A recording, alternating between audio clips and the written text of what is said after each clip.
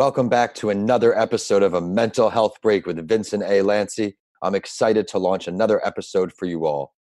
I'm Vincent Lanci, speaker and author of the book Left for Dead A Story of Redemption. When I was 21 years old, I was the victim of a hit and run accident while walking home from a friend's birthday. After coming out of a coma and suffering from a traumatic brain injury, or you may know of as a TBI, I soon realized that it was time to put my mental health on a very high pedestal. This transformative experience has led me to create a podcast that is all things mental health. Would it benefit you to hear from mental health professionals and influencers? Would it also add value to your life to hear real life and authentic stories from people talking about their mental health, the issues they face, and how they actively combat them? If you answered yes to any of those questions, you came to the right place. I want to start by congratulating you for making your mental health a priority. If you missed the last episode, be sure to download it after you tune in today. On this episode, I am happy to introduce my guest, Stacia Alexander. I met Stacia through networking as a guest on my other podcast, What It's Really Like to Be an Entrepreneur, said they would have a great fit for my mental health podcast, so I had to learn more. Dr. Stacia Alexander has been making major moves in the mental health world over the last 20 years and is also a mental health director I could go on with this intro for a little bit, but Stacia, thanks for coming on my show. I'm glad to be here. Thank you for having me. Absolutely. Stacia, would you mind please introducing yourself to our listeners and share who you are to them before we get dive in and get going? And please share your role relating to mental health. Of course, of course. So I'm Dr. Stacia Alexander. I live in the Dallas Fort Worth Metroplex. I have been a licensed professional counselor for over 20 years now and I've been in private practice for just that amount of time.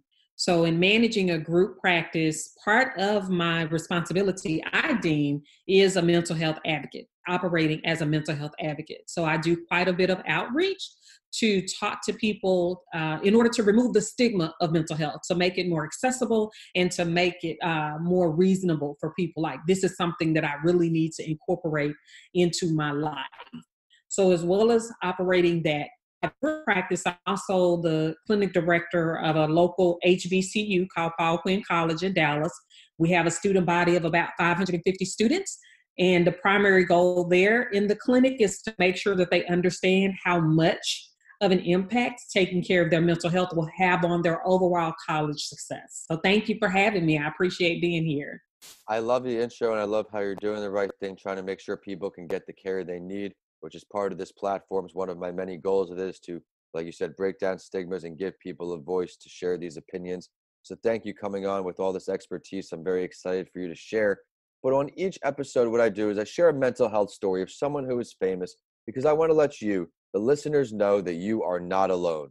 I want you to mm-hmm. understand that even though someone looks like they are healthy from the outside, they may not be on the inside too. I will now introduce the mental health related story of Jennifer Lawrence that I read on Bipolar Digest. For you that don't know Jennifer Lawrence, she's one of the stars of the of uh, the Hunger Games franchise. That has, and she's begun to talk about her struggle with social anxiety. At the time she spoke out publicly, she courageously stood as one of the few celebrities with anxiety who was open and honest about her condition, how it affected her, and what she's been doing to combat this anxiety. And according to Women's Health in 2017, she said her anxiety peaks on airplanes. She said it's she's not mm. scared of the airplane itself, but rather her on the airplane. One of a few separate occasions, she even started to have panic attacks on the flight, in the middle of the flight, and she actually once yelled out to the passengers that the plane was going to crash. She even tried to jump out of an Air France jet. The article continued where she talked with the Huffington Post in 2013 and shared how anxiety was something that she grew up with and I thought this was an important detail to share because of how many it can resonate with in growing up with anxiety. But to finish it up, she said at times she often feared falling short academically, but also afraid to be mm. around others. And she was described as having this bubbly personality, was the quote in the article, and that suddenly disappeared because of this fear. She said it's still an ongoing issue to date, but it's something she's both found to deal with and demonstrated ways to deal with. Stacia, what do you take away from her story and her public statements with mental health? It's a realization that people deal with anxiety far more than we think. And it's also one of those uh, conditions that are underdiagnosed because over time you learn to live with the symptoms that you're having. So I think it's awesome that she spoke out about this. And I think it is a good story that we can share, especially with millennials, because they don't tend to stop and listen to their body and actually see how they're reacting to a situation.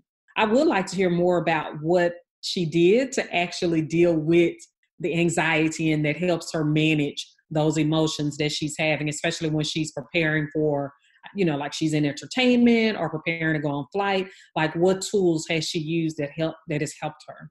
Yeah, I think it's very interesting because it's a career that's heavily reliant on traveling and the airplane. So mm-hmm.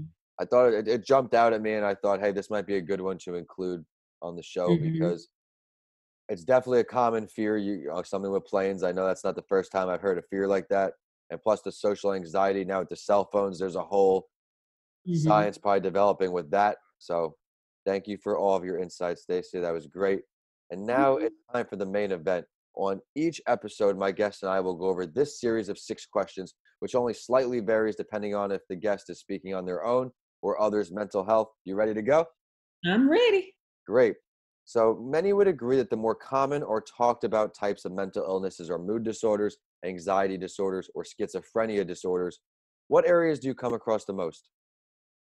The mood disorders, adjustment disorders are in probably, well, okay, so I have to answer that in two phases. Please in my private practice, more of adjustment disorder, mood disorders, because people are having um, more difficulty dealing with the the life events and so they come in to talk to me when those life events become overwhelming. In the college setting, we're actually learning that more college students have a history of trauma or some type of crisis that was unresolved than we would like to believe. And it is different from yesteryears when we could just keep going in spite of those difficulties. We're finding that they become more handicapping now because there are so many triggering events that happen that are outside of our control. When you get on a college campus, ideally you should be kind of contained. But with everything being as open as it is with social media, there could be a trigger that no one would have ever considered just because you were scrolling on Instagram or something. 100% right. So that information overload, it's come up before people are just going on their phone and you could be having a nice calm day, but all of a sudden you're exposed to millions and million pieces of information in seconds. And I also like what you said about kind of musking the pain in the past. That's come up on some of my celebrity interviews in the beginning. We did Kevin Love, and it said, you know, his dad always said, suppress those feelings, you know, mm-hmm. be a man. And mm-hmm. now mm-hmm. we're learning all the negative effects that that actually causes. Right, right. It, it has its way of showing its face whether you deal with it or not it, it stays in your body and at some point it's going to come out either through your relationships how you manage your uh, crisis situations or the anxiety that this uh, entertainer miss lawrence was experiencing it's going to manifest in some way yeah i think it's important to get out ahead of it and i know something mm-hmm. for me how valuable therapy has been especially when you find that right person to talk to mm-hmm. I, I just think with all the information out there you're doing a disservice to yourself if you're just bottling all that in. Right. So much and the plethora of information, even on the internet, you know, you can find anything. You can, and this is what I caution people. Like I even do a course on the ethical responsibility of therapy uh, and exposing people to educational resources because they're exposed to so much through the memes, the articles, the videos, and people are taking therapy lightly and they're going to people who really aren't licensed clinicians.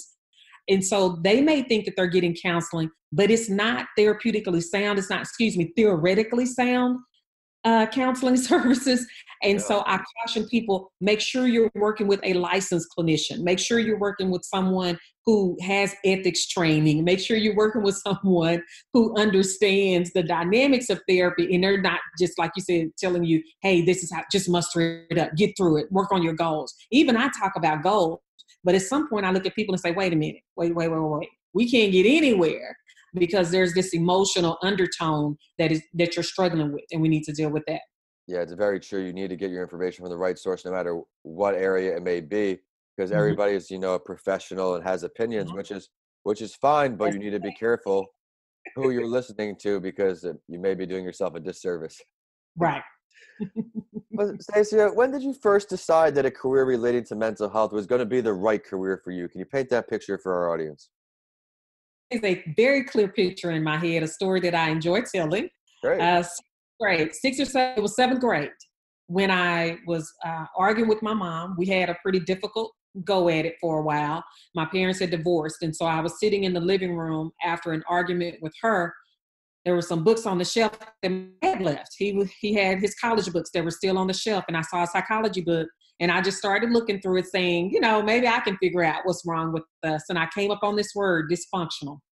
And that's when I realized neither one of us was a hateful person. Neither one of us was mean. I had been called selfish for quite a while. That we weren't that, but indeed we were dysfunctional, that my family was dysfunctional. And from that summer, that seventh grade year up until high school, I read the entirety of that college book with an intent to help my family and grew into a love for the field of psychology. Wow, that's an incredible story. What uh so what takeaways you still have from that first book? Do you have any still things that stick out in your head? Because that was a well, pretty one word. Book. It was dysfunction. That one word, dysfunctional. Because I mean, I mean, we were so. I had basically embraced the image that my family had of me, that my teachers of me. She's mean. She's a bully. She's hateful. But I was hecka smart. That's not to brag. So I never got kicked out of school at that age it was just an issue of um, okay, she's getting her grades, but behaviorally, we can't do anything with her. Like if I decided that I didn't want to obey that day, I just was not going to obey. But once I started reading about being dysfunctional, I realized that I had the capacity to choose, that I could learn another way to behave and conduct myself, even though I was angry about what was going on with my family. So it, even though, you know, like I'm reading that book in seventh grade, and I got to high school, I was still cantankerous and having all these problems. It didn't really sink in until my first freshman year in high school that I decided I am going to create another life separate in terms of the dynamics, how I get along with people, how I talk to people, how I conduct myself, that I'm not going to be that same angry person going into my adult life. So it, it was a true uh, transformational experience to find that book um, and it took a lot of work to deal with the things that I was learning on a professional level. I had to do my own work in therapy, but yeah, it, it was that was it for me. I love it. Well, I think since we're on that topic, I'll have to ask since you do have a good and you have a good information sound on it. So someone comes across and you find them to be uh, things maybe in that dysfunctional category. What's the first thing you're telling them? What's the first recommendation? Are you at peace? That's that's how I start working with my clients. Whatever you're doing that's robbing you of your peace, let's get in there and deal with that. Let's stop ignoring the things that are creating this negative space for you. So if it's your response to people, if it's your interactions, it's the choices you're making, let's deal with those things that are robbing you of your peace. And then I backdoor the theoretical perspectives on how we're going to actually resolve those difficulties that the person is having. I love it. Thank you so much for sharing that. I know the value that's going to give to our listeners. But let's segue over to what advice can you give to our listeners? What may be considered a potential early sign that they may be starting to develop some kind of mental health illness or complication? So it's like like let's go back to anxiety. The reason I really encourage people to deal with anxiety because anxiety tells you constantly that you're not good enough. That's what anxiety does for us. And if you wake up every day thinking that you're not good enough, then that's going to roll over into other mental health episodes that you're not prepared to deal with either, which is uh, depression, which creates the suicidal thinking, uh, the uh, psychosis because you're not getting enough sleep, the anxiety is bothering you. So, with the uh, mental health issues, if things begin coming up, you're not sleeping regularly, your diet has changed, your routine has changed, and your level of negativity is so high that even your friends are telling you you just need to chill out. Like it's just not that bad. But in your mind, when you step back, it's really that bad. So everybody else can't be wrong. And I think that's one of the hardest things for people who are struggling with their mental health to accept is that what is it about me that I can't see what everybody else is seeing? And so I also educate people. Um, like I have asthma. So if I get out to go running and I have asthma without my albuterol, I'm going to pass out. Like I've fainted several times. I get it, not afraid of it anymore. So I would never talk myself into going to run without that. So I do that with psychotropic medications as well. There's something chemically about the way that you are designed that if you try to go through day to day activities without that medication, you're going to faint.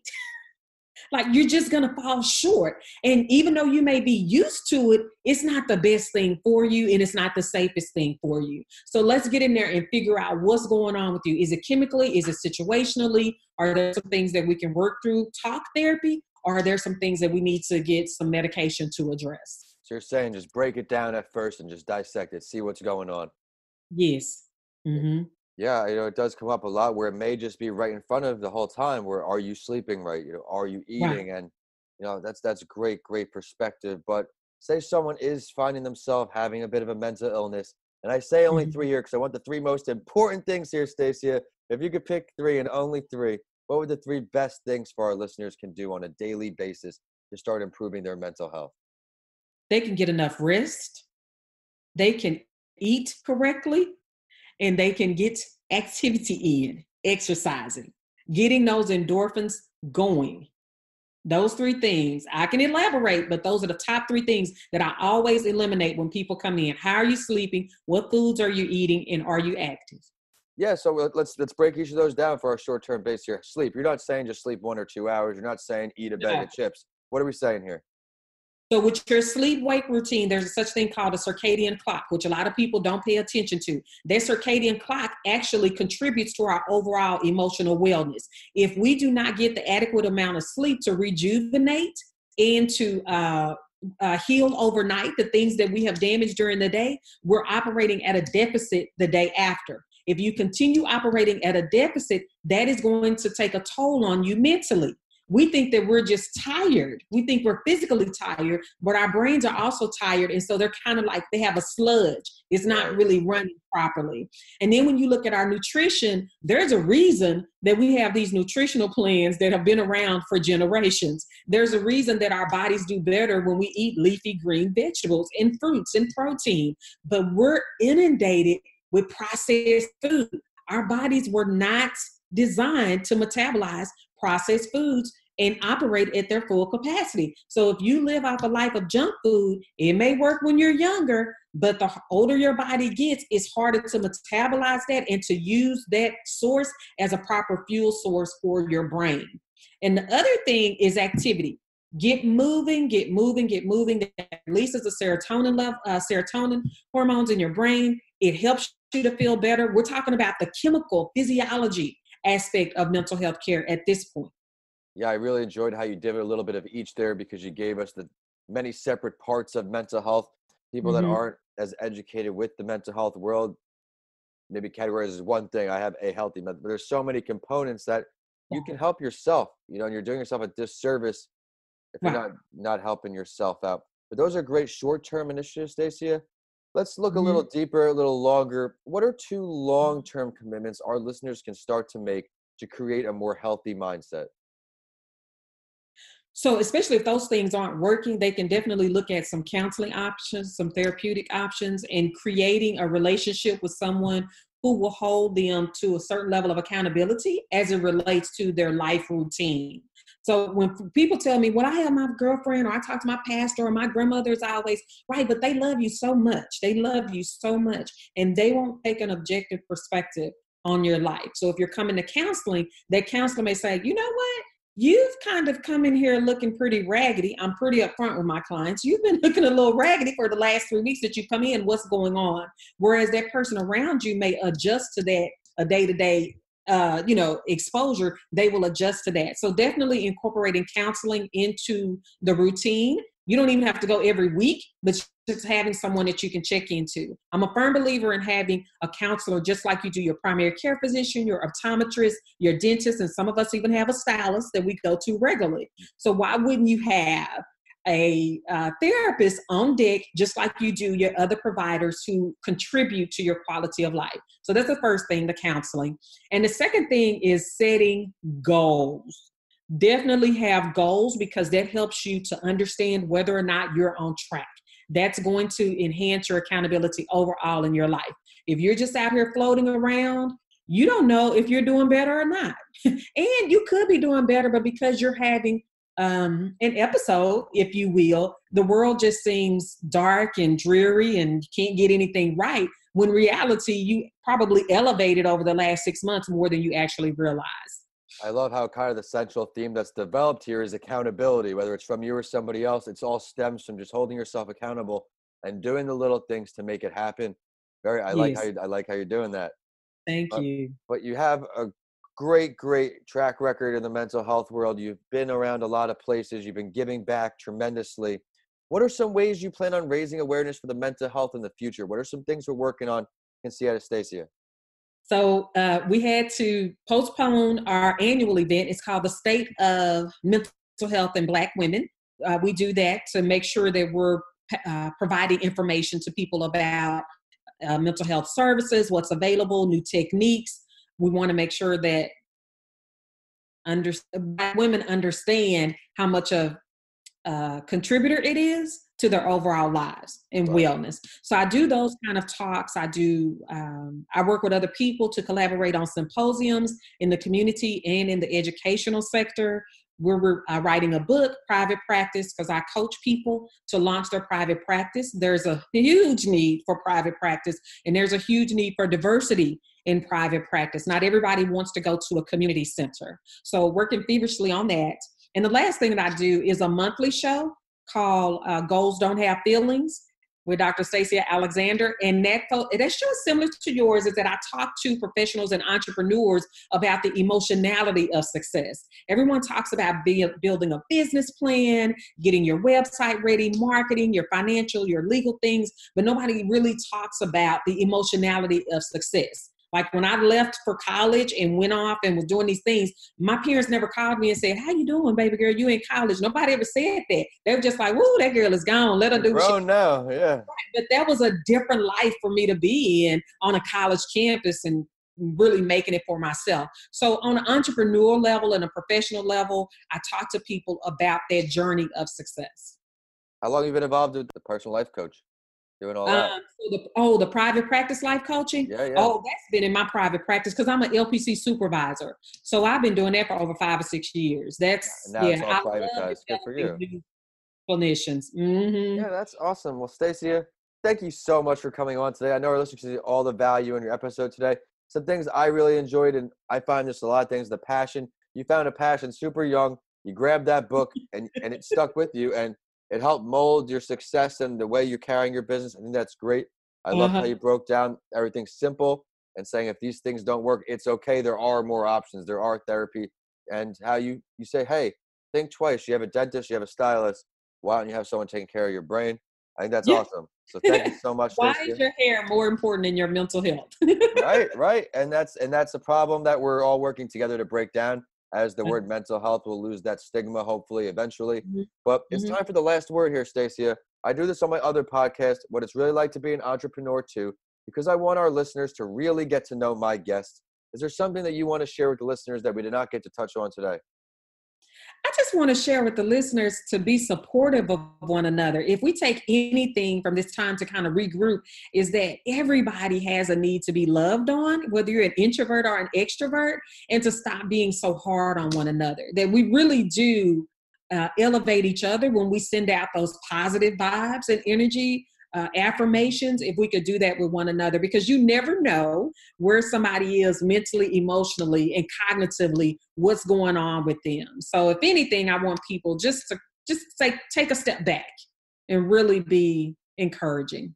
Absolutely. Well please list the ways for listeners to get encouraged by you that whether that's social media website or what are your professional handles for everybody to follow your journey so my website is www.staciaalexander.com. So that's S T A C I A. Everything is listed on there. You can find me on most social media platforms at Dr. Stacia Alexander, just DR. And my Twitter handle, but it's not very active, is Stacia underscore PI. So I'm on LinkedIn. I have a YouTube channel, Instagram, and the website, Facebook, of course, you can find me.